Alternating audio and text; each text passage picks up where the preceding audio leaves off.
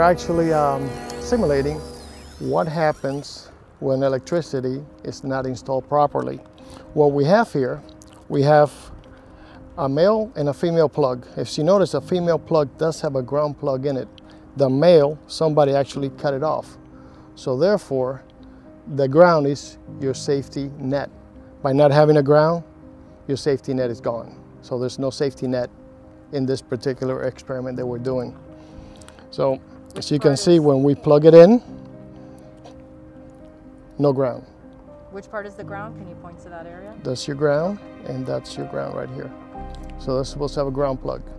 So what happens when you don't? Your ground is your safety net. Okay. So therefore, without a ground, you do not have, have a safety net. Now, that being said, what happens when we go through a puddle of water and the safety net is gone? Let's see what happens. This is a very typical scenario. We have a puddle of water, we have a damaged cord. You run that damaged cord through that water.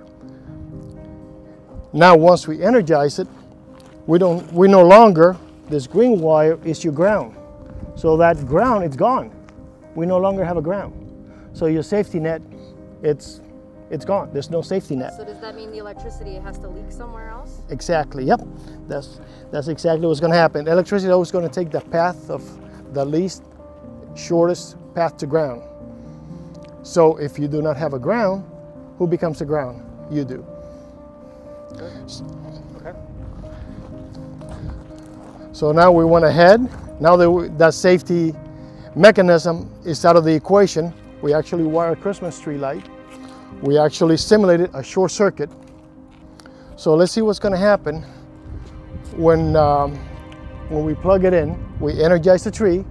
Okay. Now we have a short and no ground. Let's see what happens.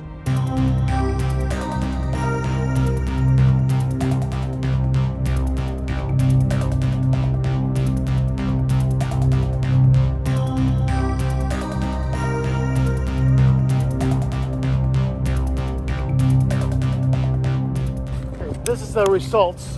What happens when we use faulty extension cords.